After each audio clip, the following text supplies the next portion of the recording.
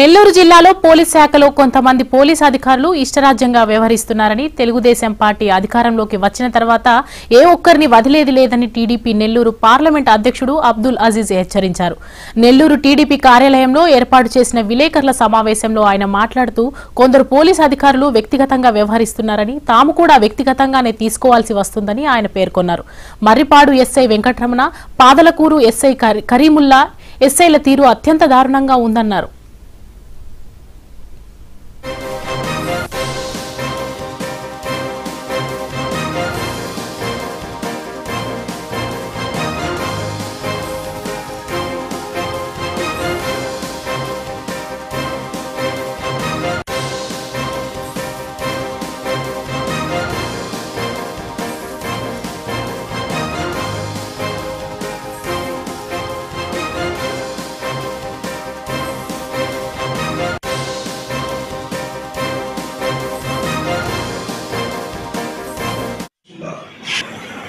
నిరుపేదలు.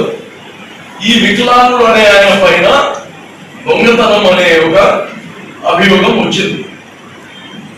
అభియోగం వచ్చినప్పుడు మందలించాల్సిన బాధ్యత తెలుసుకోవాల్సిన బాధ్యత ఎస్ఐ ఉంది పోలీసు ఉంది కాదను అట్టని ఎలాగంటే అలాగ కొట్టి ఒక మనిషి మీరందరూ అర్థం చేసుకోవాలి. ఒక వికలాంగుడు అతను ఈ సమాజంలో బ్రతకాలంటేనే ఒక ధైర్యం తెచ్చుకొని బ్రతకతాడు. అందరితో నేను దాని సమానం నేను బ్రతకాలి నేను దాని బాగుండాలి అని. అట్లాగా ధైర్యం ఉండేవాడు ఆత్మహత్య చేసుకున్నాడంటే పురుగుల మందు తిని తాగి.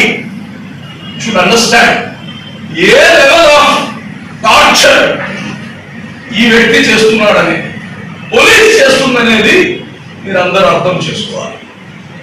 ఇది తగదు. పోలీస్ ఏం అతీతం కాదు. మీకు ఒక హద్దులు ఉన్నాయి. మీకు ఒక పరిమితులు ఉన్నాయి.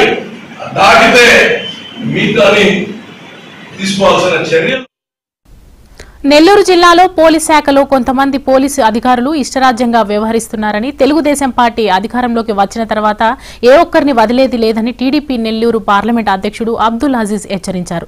ఇదే అంశంపైన మా ప్రతినిధి నెల్లూరు దినకర్ రాజు ఫోన్ ద్వారా అందిస్తారు.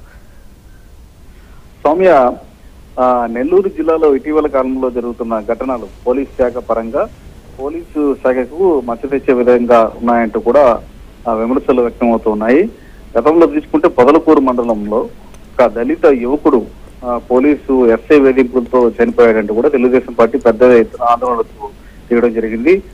బహుజనుల మీద వేధింపులు జరుగుతున్నాయంటూ కూడా టీడీపీ రాష్ట్ర వ్యాప్తంగా ఆందోళనకు పిలుపునిచ్చిన పరిస్థితి. ఇప్పుడు తాజాగా తీసుకుంటే ఇక్కడ ఆత్మకూరు నియోజకవర్గం మరిపాడు మండలంలో ఒక వికలాంగ గౌడ యువకుడు తిరుపతి గౌడ్ అనే యువకుడు ఇతను వికలాంగుడు కూడా ఇతను police SI Varipadu SI Venkataramana alias Gabbar Singh వేధింపులు భరించలేక ఇతను పోలీస్ స్టేషన్ పిలిచి దొంగతనం కేసులో కొట్టడం జరిగిందంటూ కూడా సూసైడ్ చేసుకున్నట్టు ఆత్మహత్య ఆత్మహత్య చేసుకుని చనిపోయినట్టు ఆయన కుటుంబ సభ్యులు ఆరోపిస్తున్నారు.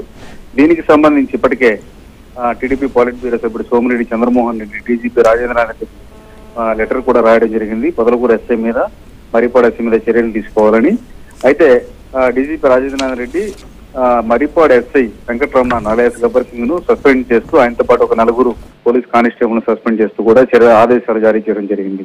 దీనికి సంబంధించి నెల్లూరు జిల్లా అధ్యక్షులు అబ్దుల్ అజీజ్ మాట్లాడుతూ కొంతమంది పోలీసులు అందరూ చెప్పడం లేదు మేము కొంతమంది పోలీసులు వైసీపీ కార్యకర్తలుగా వ్యవహరిస్తున్నారు వ్యక్తిగతంగా తెలుగుదేశం నాయకులను కార్యకర్తలను టార్గెట్ చేస్తున్నారు. ఇది మంచి పద్ధతి కాదు.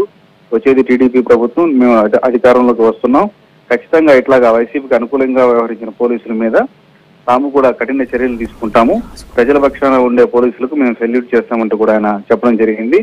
అయితే తాజాగా ఇక్కడ ఈ తిరుపతి గౌడ్ ఎవరైతే వికలాంగ యువకుడు ఆత్మహత్య చేసుకుని చనిపోయాడో ఎస్ఐ వేధింపులు భరించలేకని విమర్శలు వినిపిస్తున్నాయో.